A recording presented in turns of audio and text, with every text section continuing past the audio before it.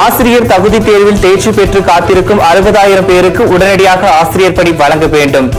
தற்காலிக ஆசிரியர்களை நியமிக்கும் முடிவை தமிழக அரசு கைவிட வேண்டும் என தேமுதிக தலைவர் கேப்டன் விஜயகாந்த் வலியுறுத்தல்.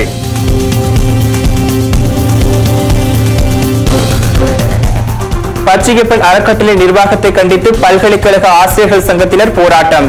தேமுதிக தலைவர் கேப்டன் விஜயகாந்த் தலையிட்டு தமிழக அரசுக்கு அழுத்தம் தர பல்கலைக்கழக ஆசிரியர்கள் கோரிக்கை.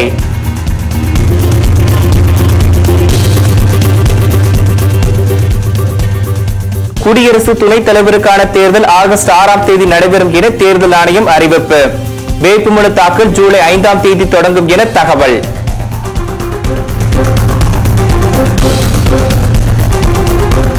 குரூப் ஒன் தேர்வு முடிவுகள் வெளியாகியுள்ள நிலையில் ஜூலை பதிமூன்றாம் தேதி தேர்ச்சி பெற்றவர்களுக்கான நேர்காணல். தனிப்பட்ட முறையில் அழைப்பு விடுக்கப்பட மாட்டாது என தேர்வாணையம் அறிவிப்பு.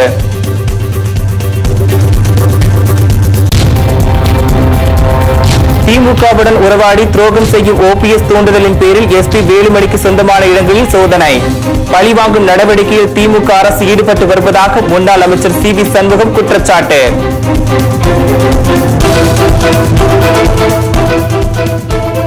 கருமுட்டி விற்பனை விவகாரத்தில் பாதிக்கப்பட்ட சிறுமி தற்கொலைக்கு முயன்றதால் பரபரப்பு. ரசாயனத்தை குடித்ததால் அரசு மருத்துவமனையில் தீவிர சிகிச்சை.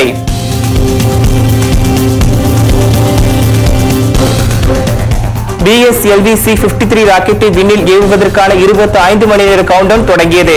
ஸ்ரீஹரிகோட்டாவில் இருந்து நாளை மாலை ஆறு மணிக்கு விண்ணில் பாய்கிறது.